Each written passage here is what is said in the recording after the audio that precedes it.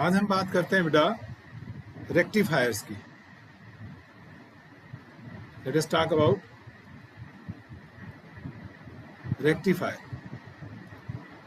देखो बेटा रेक्टिफायर जो होता है it is a device which converts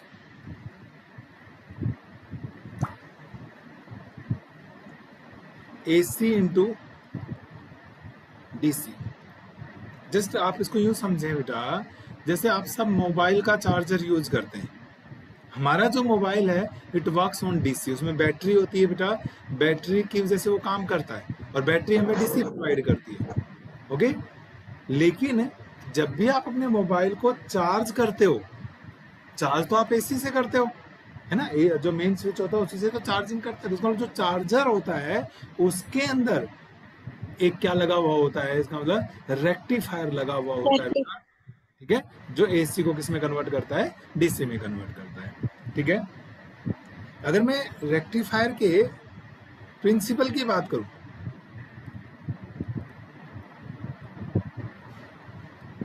अगर हम रेक्टिफायर के प्रिंसिपल तो सीधा सीधा सा बेटा it's working is based on the diode diode में दो तरीके की बाइसिंग पढ़ी आपने forward biasing and reverse biasing तो सीधी सी बात है कि it's working is based on the fact that कि a diode offers small resistance in forward biasing and high resistance and high resistance in reverse biasing.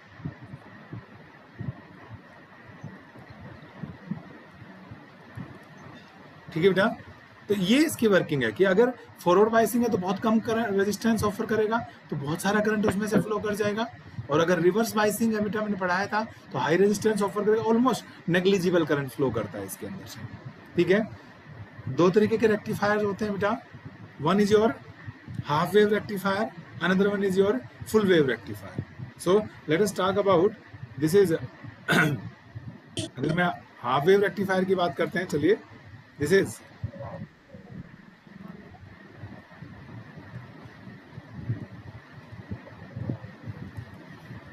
मैंने अभी कहा कि जो डायोड होता है, ठीक है ना? अल्टीमेटली वही रेक्टिफिकेशन का काम करता है बेटा ओके तो इसके अंदर एक तो सिंगल डायोड यूज़ किया जाता है। Only one diode is used. One diode is used. ठीक है? क्या होता है इसके अंदर? देखो बेटा एक हमारे पास स्टेप डाउन ट्रांसफॉर्मर होता है। सबसे पहले हमारे पास इसके अंदर क्या होता है? एक step down transformer you know, it has two coils. One was primary coil, another one was secondary coil twelfth class में पढ़ा है आपने? और सेकेंडरी में नंबर ऑफ़ टर्न्स मैंने कम कर दिए। और अगर नंबर ऑफ़ टर्न्स कम कर दो बेटा तो फिर ये क्या बन जाता है आपका? स्टेप डाउन ट्रांसफॉर्मर बन गया। इट इज़ स्टेप डाउन अभी दो मिनट बाद बात करूँगा मैं आपसे साथ कि भाई स्टेप डाउन ट्रांसफॉर्मर क्यों यूज़ किया हमने? ओके तो ये स्टेप डाउन ट्रांसफॉर्मर हो गया बेटा। जिस भी एसी सिग्नल को, ये एसी का सिंबल है, पहले बताया था वेव दिखा दो बेटा। जिस भी एसी सिग्नल को हमने रेक्टिफाई करना है उसको हम किसके साथ जोड़ देते हैं बेटा? प्राइमरी क्वाइल के साथ जोड़ते हैं। This is AC signal to be rectified AC signal को, जिसको हमने रेक्टिफाई करना होता है, ठीक है? उसको यहाँ जोड़ दिया बेटा। और अब सारा का सारा जो काम है बेटा, वो इस डायोड का है। ये डायोड है बेटा, और याद होगा ये पी टाइप होता है और ये एन टाइप होता है, ठीक है? हमारे पास ये डायोड है। एंड यहाँ पर हमारी क्या होती है बेटा? लोड रेजिस्टेंस होती है। लोड रेजिस्टेंस का मतलब मैंने पहले बताया था, जिस इंस्ट्रूमेंट को आपने यूज़ करना है, आपके घर का जितने भी अप्लायंसेज हैं सब के सब किसका काम करते हैं बेटा? लोड रेजिस्टेंस कितना काम करते हैं। तो ये क्या हो गया मेरा? लोड रेजिस्टेंस हो गया। और इसके अक्रॉस जो कुछ वोल्टेज आएगी, वही वोल्टेज मेरे लिए किसका काम करेगी बेटा? आउटपुट का काम करेगी। वही वोल्टेज मेरे लिए क्या करेगी बेटा? आउटपुट का काम करेगी। ठीक है? यहाँ तक की बात? है तो ये इसकी वर्किंग मतलब सिंपल सर्किट डायग्राम हो गया। सिंपल सा सर्किट डायग्राम है बेटा। मान लीजिए, मैं यहाँ पर जो इनपुट देता हूँ,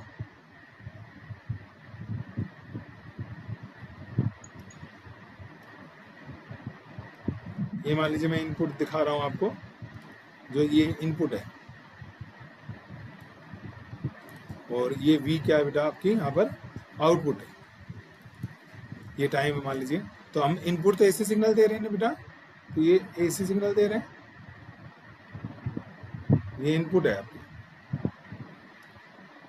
अब देखिए आउटपुट कैसी मिलेगी हमें? और क्यों मिलेगी? दोनों बातें करेंगे। अगर मैं यहाँ पर बात करूँ बेटा आपके साथ। आउटपुट वोल्टेज की। ठीक है? तो हम पर्टिकुलर इंटरवल्स की बात करेंगे। जैसे मान लीजिए ज़ीरो से लेकर यहाँ पर टी बाई टू टाइम है ये। आधी साइकिल होगी ना टी बाई टू तो ये मैं बना देता हूँ। ज़ीरो से टी बाई टू तक हमारे पास क्या आएगा? ऐसे बेटा यहाँ पर देखो। टी बाई टू से टी तक क्या आएगा? लाइक like दिस ये हमने देखते जाना है ऐसे। अलग अलग मैंने क्या बना लिए? इंटरवल्स बना लिए। मुस्कान, ये बंद करो भाई अपना ऑडियो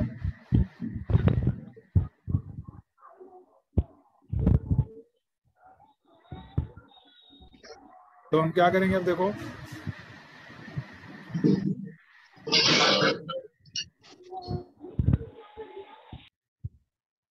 ऐसा लगता है सभी को अनम्यूट कर देता हूँ मैं या तो।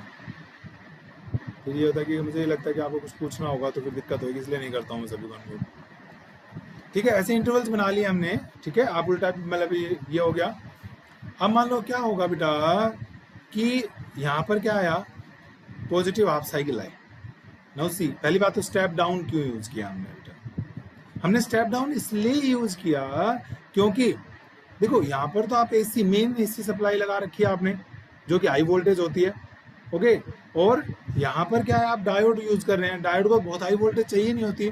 अगर आपने बहुत हाई वोल्टेज डायरेक्टली डायोड को दे दी तो डायोड क्या होगा बेटा? डैमेज हो जाएगा बर्न हो जाएगा। ठीक है? डायोड को रिक्वायर स्मॉल वोल्टेज तो याद करो step down step down transformer का काम यही होता था कि हाई वोल्टेज को किसमें कन्वर्ट करता था बेटा ये? Low voltage high AC voltage को लो एसी वोल्टेज में कन्वर्ट करता था, ठीक है? हम मान लीजिए पहला हाफ़ साइकिल आया बेटा पॉजिटिव हाफ़ साइकिल आया, यहाँ पर इनपुट है। मान लो यहाँ पे P1 पर पॉजिटिव आ गया और यहाँ पर नेगेटिव उल्टा भी मान सकते हो, यहाँ पर नेगेटिव उल्ट कैसे मान लो तो कोई दिक्कत नहीं, क्योंकि रेफरेंस है प्लस माइनस हमारा, ठीक है? तो अगर ध्यान हो बेटा तो जो ट्रांसफॉर्मर था it's working was based on mutual induction था कि नहीं? आपका जो ट्रांसफॉर्मर काम करता था दिस वर्क्स ऑन एक होता था सेल्फ इंडक्शन और एक क्या होता था आपका? म्यूचुअल इंडक्शन नहीं करते थे हम। और म्यूचुअल इंडक्शन में लेंजेज लॉ का, जितने भी इंडक्शन है बेटा सारे सारे क्या करते हैं? लेंजेज लॉ को काम करते हैं। दिस इज़ म्यूचुअल इंडक्शन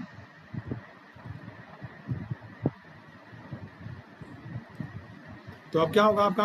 यहाँ प्लस है तो यहाँ पर क्या होगा बताओ? प्लस आएगा या माइनस आएगा? म्यूचुअल इंडक्शन की वजह से। माइनस यहाँ पर क्या आएगा आपका? माइनस आ जाएगा और यहाँ पर क्या आ जाएगा बेटा? प्लस आ जाएगा। और अगर अभी माइनस आ गया तो देखो this negative is connected with diode P type so this diode is in forward bias or reverse bias? Reverse reverse bias हो गया, ठीक है कि नहीं बेटा? तो अगर ये रिवर्स बायसिंग हो गई तो it will offer high resistance आपने कहा था। And if it offers high resistance so no current will flow और नेग्लिजिबल करंट फ्लो हम उसको ज़ीरो में मान लेते हैं, हम आइडियल मान लेते हैं तो नो करंट विल फ्लो तो यहाँ पे कोई करंट नहीं आया तो आउटपुट में वोल्टेज भी क्या आ गई बेटा आपके पास? ज़ीरो आ गई कि नहीं आ गई?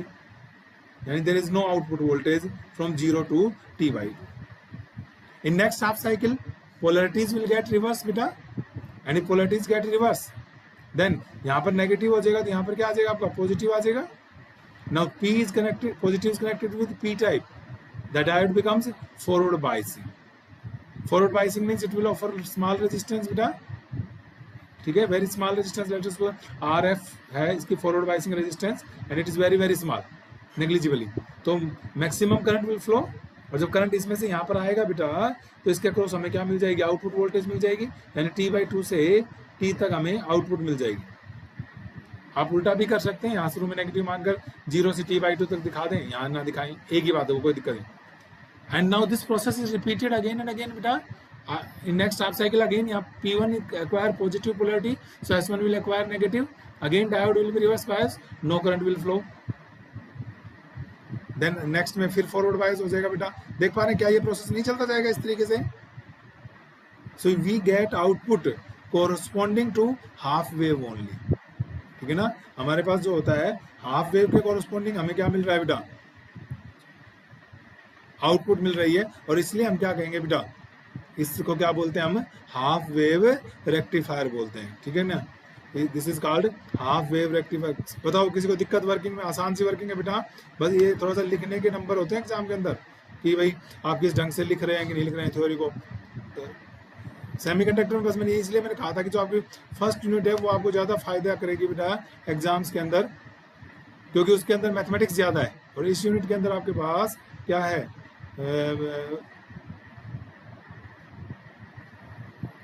तो फिर से एक बार बोलूँ बेटा, आप कहेंगे let us start with p1 acquire positive polarity. So due to mutual induction s1 will acquire negative. This negative is connected to p type. So it becomes reverse bias. No current will flow and we got no output. Next half cycle polarities will get reversed. P1 get negative so p2 sorry s1 becomes positive. So it is connected with p type forward biased.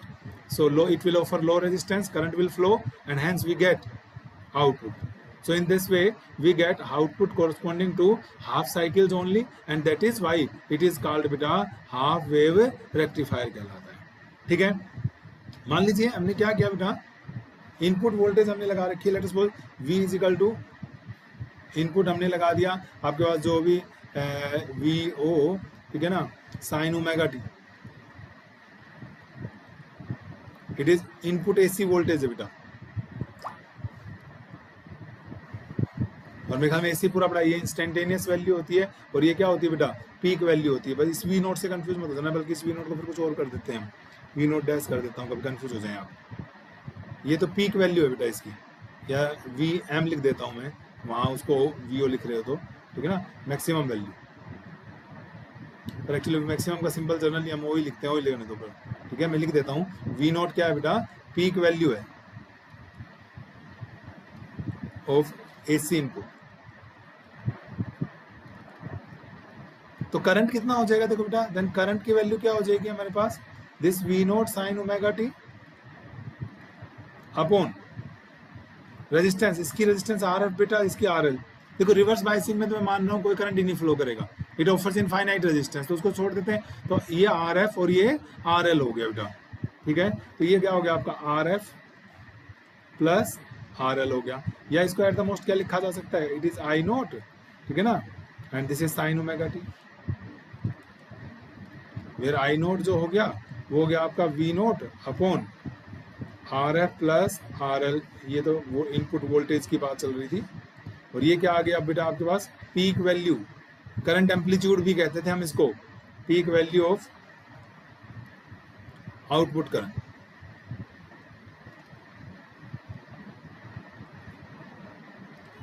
ठीक है? और आप देख सकते हैं current basic से unidirectional आ गया है। है ना? एक ही डायरेक्शन में बेटा डायरेक्शन चेंज नहीं हो रही है, इसलिए डीसी है। लेकिन ये कांस्टेंट डीसी नहीं है। It is a fluctuating DC देखो ज़ीरो फिर प्लस फिर डिस मतलब ये एसी क्यों है? क्योंकि इसमें पॉजिटिव हाफ़ साइकिल भी है, इसमें नेगेटिव हाफ़ साइकिल भी है। पॉजिटिव भी है और नेगेटिव भी है बेटा। ठीक है? लेकिन इसमें सिर्फ़ पॉजिटिव हाफ़ साइकिल हैं। इसलिए इसको डीसी कहा जाएगा क्योंकि नेगेटिव हाफ़ साइकिल नहीं है। लेकिन ये डीसी कांस्टेंट नहीं है, बल्कि कैसा डीसी है बेटा? फ्लक्चुएटिंग डीसी है। और अगर फ्लक्चुएटिंग डीसी है हमारे पास ठीक है ना? तो हम क्या करेंगे अब? इसके अंदर क्या निकालेंगे बेटा? Average value of AC sorry जो आउटपुट क्या आया मेरे पास? डीसी करंट आया है, लेकिन ये फ्लक्चुएटिंग आ गया, इसलिए मुझे इसकी क्या निकालनी पड़ेगी? मैं इसको यूँ लिख सकता हूँ? इंटरवल बनाऊँ तो देखो इसको। अगर मैं करंट को लिखना चाहूँ बेटा तो यूँ लिख लूँ? देखो I is equal to I naught sine omega T इतना करंट फ्लो कर रहा है मेरा सर्किट में, ठीक है ना?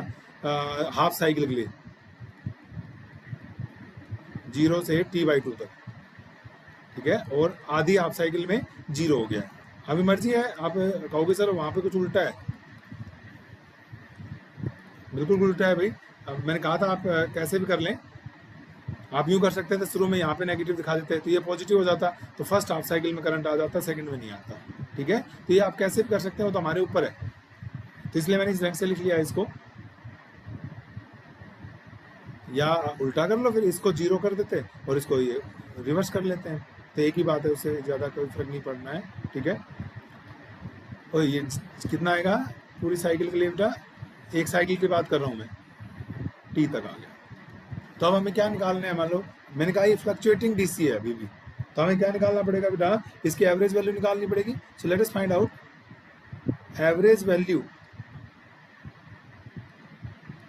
of DC current जो ये आधो डीसी का मैंने अभी समझा रहा हूँ मैं बार बार आपको कि डीसी तो आ गया क्योंकि डीसी क्यों, मैं फिर यहाँ लिख भी देता हूँ, क्यों है ये डीसी क्योंकि यूनि डायरेक्शनल है। नेगेटिव कभी होता नहीं, इसलिए डीसी बट कैसा है?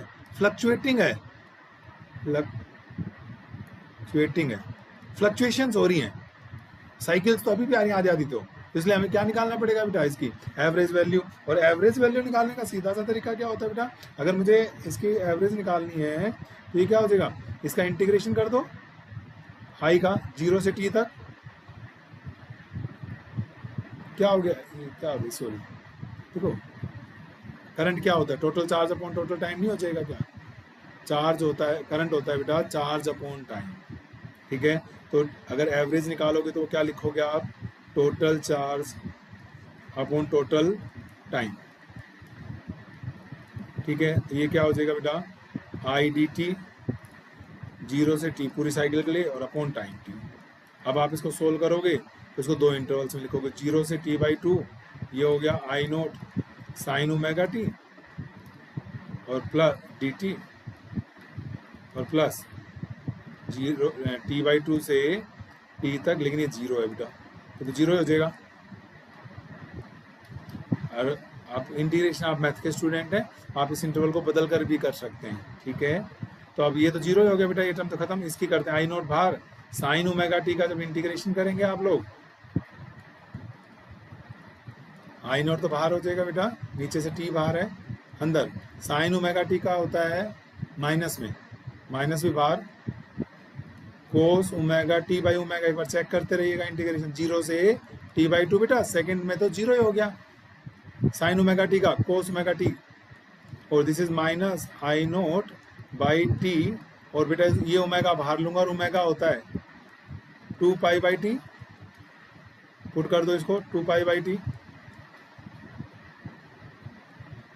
and this is cos of 2 pi by t into t zero से टी बाई टू ये कैंसिल आउट बेटा। आई डी सी आ गया। माइनस आई नोट हाँ जी, ये देखो बेटा। ये तो कट गया था टू पाई बचा। कोस अपर लिमिट टी की जगह टी बाई टू पुट कर दो। Minus lower limit cos zero it is minus I naught by two pi इस टू से टू कट गया, इस टी से। कोस पाई बेटा minus one minus one minus one और माइनस वन माइनस टू तो ये टू हो गया बेटा टू से टू भी कट गया। सीधा आ गया ये। आई नोट बाई पाई तो आई डी सी कितना आ गया बेटा आपका? आई नोट बाई पाई आ गया। और इसके अगर वैल्यू पुट करना चाहेंगे, इसको पुट करेंगे टू पॉइंट ना सॉरी पाई कितना होता थ्री पॉइंट वन फोर तो बेटा ये वैल्यू आ जाएगी मेरे पास point three one eight I naught तो बेटा एवरेज वैल्यू ऑफ़ डीसी कितनी आई? In half wave rectifier full wave में करेंगे तो सेकंड हाफ़ भी आ जाएगा बेटा। ठीक है?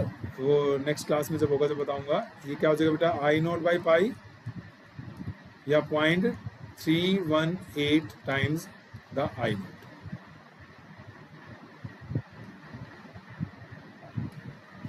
ये निकल लिया बेटा हमने। जो हमने आउटपुट में डीसी करंट आया बेटा उसकी वो हमने निकाल ली एवरेज ठीक है? डीसी की तो एवरेज होती है। लेकिन अगर एसी की बात करो, आपने जो इनपुट दी है वो तो एसी है। ठीक है? वो एसी करंट फ्लो कर रहे हैं ना? इनपुट में तो आपने एसी वोल्टेज लगा रखी है। तो वो एसी इनपुट सप्लाई कर रहे हैं आप। ठीक है? तो अगर एसी की बात करें तो बेटा मैंने आपको पहले पढ़ाया भी है एसी में क्या होती है? आरएमएस वोल्टेज निकलती है एसी की। So let us find out the RMS value of AC current RMS value of C का और वही बात बेटा, देखो कैसे करेंगे? आई आर एम एस निकालना है मैंने। आर एम एस की फुल फॉर्म थी रूट मीन स्क्वेयर यानी मुझे रूट लेना है। मीन निकालकर किसका लेकिन इस बार? स्क्वेयर का मीन निकालना है आपको। ठीक है कि नहीं है? तो आप क्या हो जाएगा? ये ज़ीरो से T by two I square D T plus T by two से टी बिटा ज़ीरो डी टी और अपॉन टोटल टाइम तो कितना ले रहे हैं हम? टी ले रहे हैं कि नहीं ले रहे हैं बताओ? एक पूरी साइकिल की बात कर रहे हैं बेटा, और हम एक पूरी साइकिल की जब बात करेंगे, ठीक है ना? तो ज़ीरो से टी बाई टू तक अलग करंट जा रहा है टी बाई टू से टी तक अलग जा रहा है। तो ये क्या आ जाएगा देखो आपके पास? हो गया क्या? पहले समझो रूट स्क्वेयर रूट बेटा टाइम से डिवाइड कर दिया टोटल टाइम से मीन आ जाएगा। पिछली बार सिर्फ़ करंट का इंटीग्रेशन क्या था? रूट मीन नहीं था स्क्वेयर नहीं हुआ। लेकिन इस बार क्या कर दिया हमने? करंट का स्क्वेयर इसलिए square root mean square square का मीन निकाल कर मीन निकालने का मतलब जिससे रिस्पेक्ट में इंटीग्रेशन किया, उसी से डिवाइड कर दिया। और सारे का क्या ले लिया बेटा? स्क्वेयर रूट ले लिया। ठीक है? तो ये आ गया हमारे पास। This is power one by two बाद में ले लेंगे। ये ज़ीरो से टी बाई टू बेटा आई की वैल्यू थी। आई नोट स्क्वेयर बाहर ले लिया मैंने। It is sine square omega T D T okay और अपॉन टी और सारे का अंडर रूट। ये तो हट जाएगा ना इसका तो। अब साइन स्क्वायर का इंटीग्रेशन करना है हमने। कैसे होगा साइन स्क्वायर ओमेगा टी का इंटीग्रेशन? बताओ क्या करें साइन स्क्वायर ओमेगा टी के लिए? फॉर्मूला लगेगा one plus cos square omega. One plus आएगा कि माइनस आएगा? साइन स्क्वायर ओमेगा टी को कोस में टर्म चेंज करेंगे तो वन प्लस आएगा कि माइनस? जल्दी से बताओ। माइनस। माइनस आएगा। One minus cos two omega T D T बेटा। और ये लिमिट है ज़ीरो से T by. T by two से टी तक तो ज़ीरो है ना बेटा करंट? ठीक है? तो भाई ये आपके पास आ जाएगा मैं I R M S it is I naught square by T ठीक है? इंटू बेटा डी टी का हो जाएगा टी ज़ीरो से टी बाई टू और माइनस ज़ीरो मैं एक काम छोड़ रहा हूँ, करें तो आप कर लेना, नहीं तो साइड में लिख देना बस सीधा। बेटा cos two omega T D T का ज़ीरो से टी बाई टू तक जब करेंगे ना तो ये ज़ीरो आएगा। ये रहा, देखो, सीधी बात है कोस का करेंगे तो साइन आ जाएगा। ठीक है? और साइन का जब करोगे ना, सोल बेटा तो आप करके देखना। ये जैसे यहाँ पर तो क्या हो गया था? ज़ीरो ये भी माइनस वन और ये भी माइनस वन और वहाँ पर क्या हो जाएगा? ये ज़ीरो माइनस ज़ीरो आ जाएगा। आप खुद ट्राई करें। ज़ीरो से टी बाई टू तक का इंटीग्रेशन करके दिखाएँ एग्ज़ाम में तो ठीक ना करके दिखाएँ तो आपकी च्वाइस आप बस सीधा लिख दें कि ज़ीरो होता है। Sine cos two omega T का। ठीक है भाई? अब क्या हो गया? आपकी upper limit minus lower limit आ गई मेरे पास। आ, तो देखें एक बार जरा। एक गड़बड़ नहीं करवा दी शायद आपने? फिर से देखो यहाँ चेक करो। मैथमेटिकल गलती है फिजिक्स की नहीं। साइन स्क्वायर ओमेगा टी को खाली यही लिखा जाएगा। टी अपॉन टू हाँ अपॉन टू और आएगा ना बेटा अभी। एक टू और आएगा नीचे। अब ठीक है। तो आई आर एम एस आ गया बेटा। I naught square by two T into upper limit T by two minus lower limit हटा दो। इस टू से टू कट गया। ध्यान से बी केयरफुल बेटा। I naught by two careful होने वाली क्या बात है? कुछ नज़र आ रही है? जनरली हम क्या करते हैं बच्चे? नंबर तीन तक हो गया था। ये नंबर चार और ये नंबर पाँच। मैं केयरफुल होने वाली बात ये है बेटा कि फुल साइकिल के ऊपर जब आप निकालेंगे मे भी हमारी जो नेक्स्ट क्लास उसमें मैं भी फुल वेव में निकलवाऊँगा फुल साइकिल के लिए। तो आपने देखा है आई आर एम एस क्या आता है? आई नोट बाई टू आता था कि रूट टू रूट टू हाँ रूट टू का फैक्टर आता है बेटा। और यहाँ पर आई नोट बाई टू आया है, ठीक है? तो ये जल्दबाजी में गलती होती है कई बार। इसलिए मैंने कहा कि बी केयरफुल ओके बेटा? तो ये आ गया। नौ अगर हम बात करें नेक्स्ट अब कि भाई number three power supplied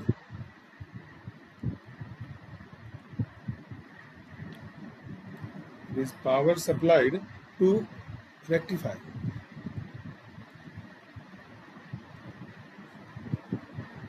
तो बेटा पावर जो सप्लाई की हमने, ठीक है, हमने पावर तो हमने तो एसी की फॉर्म में दी ना।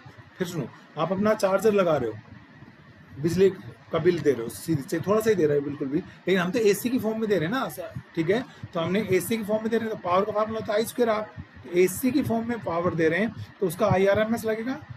आई स्क्वेयर आर ठीक है कि नहीं? और आर आर क्या ये नहीं है? दोनों सीरीज़ में नहीं होंगे ये? Although this is very very small some time we can neglect it लेकिन लास्ट में नेग्लेक्ट करेंगे, अभी मैं नेग्लेक्ट नहीं कर रहा हूँ। देखो बेटा रेजिस्टेंस दो ही तो है, आपके पास सर्किट मोड तो रेजिस्टेंस नहीं है। एक क्या है? ये फॉरवर्ड रिवर्स को तो छोड़ ही दो। जब रिवर्स प्राइसिंग आएगी, जब तो करंट ही फ्लो नहीं करेगा। जब करंट आगे नहीं जाएगा तो पावर लॉस होगा? नहीं होगा। जब तक करंट फ्लो नहीं करेगा no heating is produce no power is required power तो चाहिए ही करंट को फ्लो करवाने के लिए। तो अब क्या होगा बेटा? R F plus R L हो गया मेरे पास। Is okay although RF will be very very small. Forward biasing resistance होती है बेटा। It is very very small होती है। और एस अभी अभी निकाला आपने। हाफ़ वेव के केस में आई नोट बाई टू का square and this is R F plus R L ये आ गया बेटा। I naught square by four R F plus R L ये हमने सप्लाई किया।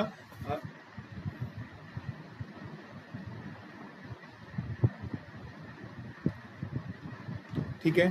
Power supply to the rectifier आ गया हमारे पास। And now average output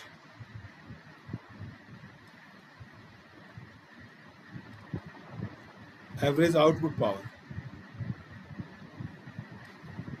तो वो तो हमें डीसी की फॉर्म में आएगी ना आउटपुट तो क्योंकि रेक्टिफायर का काम ही क्या होता है एसी को डीसी तो इनपुट जो थी सप्लाइड यानी कि ये तो क्या थी आपकी? इनपुट पावर कितनी दी? ठीक है? और अब हमें आउटपुट जो है, वो तो हमने डीसी की फॉर्म में लेनी है। तो अभी आपने निकाला था डीसी और क्या इसमें इसका रोल आएगा? नहीं। क्योंकि बेटा, हमारे तो इफ़ेक्टिव तो कौन सी है? जो यहाँ पर वोल्टेज आएगी। यहाँ पर जो पावर डेवलप होगी। इसके अक्रॉस जो पावर डेवलप होगी, वो तो वेस्टेज है। हीटिंग का काम कर रही है। मेरे किसी काम की नहीं है वो। ओके तो आउटपुट में सिर्फ़ क्या आएगा बेटा? डीसी के फॉर्म में पहली बात तो। और आई आर एल तो I D C D C अभी अभी निकाला था। आई नोट बाई पाई आया था शायद रहा। आई नोट बाई पाई ठीक है। Is I naught by pi तो this is I naught square by pi square into R L आ गया and now comes out to be किसी भी डिवाइस के हम क्या निकालते हैं बेटा? एफिशिएंसी निकालते हैं। इट इज़ रेक्टिफायर एफिशिएंसी और एफिशिएंसी तो एज यूजुअल हमेशा ही किसी भी डिवाइस की बात कर लें बेटा आप। एफिशिएंसी हमेशा ही क्या होती है? आउटपुट अपॉन इनपुट होती है। This is output upon input basic formula है। ना बेटा? कहीं भी यूज़ कर लें आप this will be output upon input होता है हमारे पास। ओके तो आउटपुट अभी अभी निकाली आपने P DC power in the form of DC and input हमने क्या दी बेटा? एसी के फॉर्म में दी। तो this comes out to be देखो बेटा I naught square R L by pi square into into into into into into नीचे। गलत लिख दिया ना शायद मैंने? या सही लिखा? सही लिखा। डीसी ऊपर लिखा है। अब ये। आई नोट का स्क्वेयर फोर ऊपर और R F plus R L नीचे बेटे। आई नोट का स्क्वायर कैंसिल आउट हो गया। तो efficiency comes out to be four by pi square बेटे। Into R L upon R F plus R L ठीक है? ये आ गई बेटा हमारे पास। और इसको अगर आप सोल्व करेंगे परसेंटेज में कन्वर्ट करेंगे तो हंड्रेड से मल्टीप्लाई कर दें तो हो जाएगा four hundred pi square pi square nine point eight के आसपास चला जाएगा। इंटू आर एल अपॉन क्योंकि एफिशिएंसी तो आपको पता ही है बेटा, हमेशा किसमें होती है? परसेंटेज में ली जाती है। तो ये आ जाएगा बेटा R L upon R F plus R L into कितना परसेंट हो गया बेटा ये? जब फोर हंड्रेड को पाई स्क्वायर से मल्टीप्लाई करोगे तो ये आ जाएगा बेटा forty point six percent can you think maximum कितनी हो सकती है एफिशिएंसी मैक्सिमम तभी हो सकती है, मैं इससे कम ही होगी ना हिसाब से देखो। ये वाला फैक्टर वन से छोटा है कि नहीं है? आर एल है, ऊपर आर एफ़ नीचे R F plus R L है डिनोमिनेटर में। तो वन से छोटा आएगा तो एफिशिएंसी 40.6 एट द मोस्ट यानी मैक्सिमम पूछे तो 40.6 हो सकती है। जब मैं आइडियल डायोड ले लूँ, और आइडियल डायोड में आर एफ़ की वैल्यू क्या हो जाती है? ज़ीरो हो जाती है फॉरवर्ड बाइसिंग रेजिस्टेंस तो ये वन हो जाएगा। ठीक है? तो हमारे पास क्या हो गया बेटा? कि मैक्सिमम जो एफिशिएंसी है मैक्सिमम जो एफिशिएंसी है it can be maximum efficiency of half wave rectifier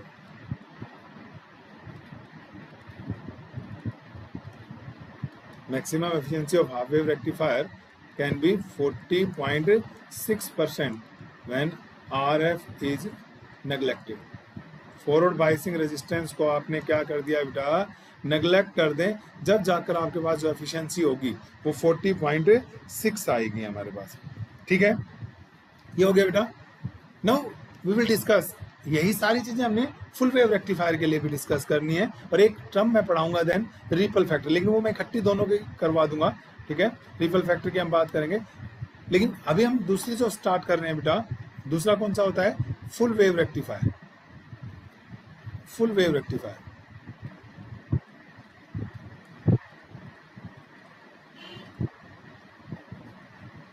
और इसमें एक वर्ड यूज़ कर रहा हूँ मैं। This is called central tapping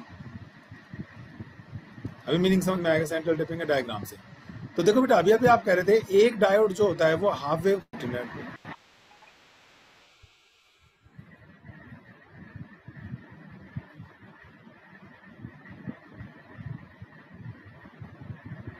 देखो हमारे पास फुल वेव रेक्टिफायर की बात कर रहा था बेटा मैं। तो फुल वेव रेक्टिफायर में कितने डायोड्स यूज़ होंगे बेटा? दो डायोड यूज़ होंगे। फुल वेव रेक्टिफायर ठीक है? तो दो देखो, आधा काम तो वही है बेटा, हमारे पास। एक स्टेप डाउन ट्रांसफॉर्मर ये वो एसी सिग्नल है, जिसको आपने रेक्टिफाई करना है बेटा। इसको यहाँ जोड़ दिया। सेकेंडरी में नंबर ऑफ़ टर्न्स कम कर देंगे। और बस एक डायोड यहाँ जोड़ देंगे आप। और एक डायोड यहाँ जोड़ देंगे बेटा। एक डायोड यहाँ जोड़ दिया डी वन डायोड और एक डायोड आपने यहाँ पर जोड़ दिया बेटा। ठीक है? और ये जो चीज़ है, ये आपके लोड ध्यान से देखें लोड रेजिस्टेंस और ये कनेक्शन इसके सेंटर पे कर दिया हमने। जो सेकेंडरी क्वाइल है आपकी बेटा, उस सेकेंडरी क्वाइल के सेंटर के ऊपर मैंने क्या लगा दिया है? ये कनेक्शन किया है। इसलिए मैंने बोला था ना अभी सेंट्रल टेपिंग इसलिए इसको क्या बोलते हैं बेटा? सेंट्रल टेप इसको इसलिए हम सेंट्रल टेपिंग बोलते हैं। ठीक है बेटा? वही है बेटा, अगर मैं इनपुट दिखाऊँ आपको। यदि मैं इनपुट की बात करूँ, ठीक है तो ये क्या आ जाएगा? मान लीजिए ये इनपुट है बेटा। और अगर हम आउटपुट की बात करेंगे वर्किंग में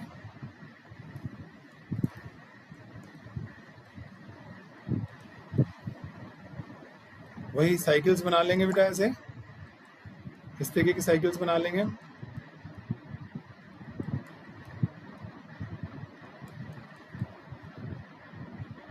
तो क्या होगा देखो बेटा, अगर हमारे पास फ़र्स्ट हाफ़ साइकिल आई, अगर हम बात करें फ़र्स्ट हाफ़ साइकिल की, ठीक है, वही मान लीजिए P one is negative P two is positive ठीक है P one is negative P two is positive तो due to mutual induction polarities will get reverse S one क्या हो जाएगा बेटा आपका? पॉजिटिव हो जाएगा और एस टू नेगेटिव हो गया।